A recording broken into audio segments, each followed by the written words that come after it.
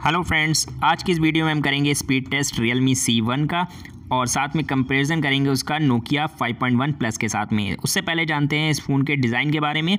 तो नीचे की तरफ़ देखें तो इसमें हमें देखने को मिल जाता है 3.5 point mm jack USB slot और स्पीकर लेफ़्ट साइड में बात करें तो इसमें हमें पावर की बटन और सिम ट्रे देखने को मिलती है। ऊपर की साइड इसमें कुछ नहीं दिया हुआ है और राइट साइड में हमें पावर बटन देखने को मिल जाता है। फ्रंट साइड से ये देखने में बिल्कुल रियलमी टू की तरह लगता है।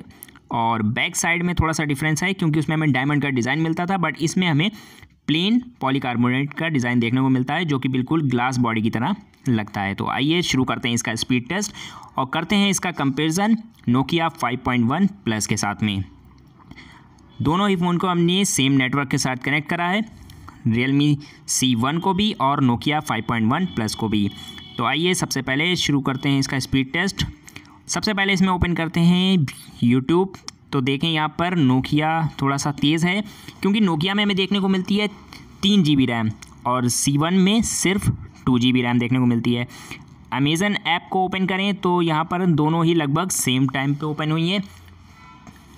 अब देखते हैं अगली ऐप को ओपन करके तो यहाँ पर इसमें हम देखेंगे गाना ऐप को। गाना ऐप को जब ओपन करते हैं तो यहाँ पर हमें देखने को मिलता है इसमें भी नोकिया थोड़ा सा आगे है। रियलमी सी वन के मुकाबले में। नोकिया सी वन में और शेरिट अगर ओपन करें तो शेरिट में इसमें भी नोकिया थोड़ा सा आगे रहा। अब बात करते हैं क्रिक बस की। तो क्रिक बस में रियलमी सी वन आगे रहा। यहाँ पर रियलमी सी वन इसके मुकाबले थोड़ा सा आगे रहा। अब अगली ऐप को ओपन करके देखते हैं यूसी ब्राउज़र को। तो यहाँ पर देख सकते हैं, दोनों ने ही लगभग साथ में ही रिस्पॉन्स करा, कुछ खास डिफरेंस देखने को नहीं मिला है। तो दो जी रैम होने के बावजूद भी ये अच्छा कॉम्पिटिशन दे रहा है नोकिया 5.1 प्लस को। अब उसके बाद देखते हैं, दूसरी ऐप को ओपन करके, यहाँ पर गूगल म्यूज़िक को। तो देखते हैं कि कौन ज़्यादा फास्ट रहता है और पहले कौन सी ऐप ओपन होती है? गूगल प्ले को जब देखते हैं तो यहाँ पर नोकिया आगे रहा, जी। यहाँ पर उसके मुकाबले नोकिया थोड़ा सा अब बात करते हैं वेदर ऐप के बारे में तो यहाँ पर भी नोकिया थोड़ा सा तेज़ रहा।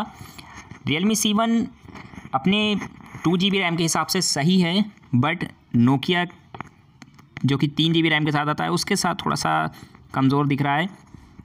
अगली ऐप ओपन करते हैं प्ले स्टोर को तो प्ले स्टोर में भी नोकिया पहले खुला। सो so, यहाँ पर हमने देखा कि रियलमी सी वन अपने प्राइस रेंज के हिसाब से ठीक है बट स्पीड के मामले में वो एवरेज है। बहुत ज़्यादा हमें इसमें एडवांस स्पीड देखने को नहीं मिली। डिज़ाइन इसका काफ़ी अच्छा है प्राइस रेंज भी सही है उसके स्पेसिफिकेशंस के हिसाब से। सो so, आपको ये फ़ोन कैसा लगा और ये वीडियो कैसे लगी कमेंट सेक्शन में ज़रूर बताइएगा। वीडियो पसंद आई हो तो प्लीज़ इसको लाइक कीजिएगा। चैनल पे नए हैं तो चैनल को सब्सक्राइब करना बिल्कुल ना भूलिएगा। सो so, फ़िलहाल के लिए इस वीडियो में इतना ही. Thanks for watching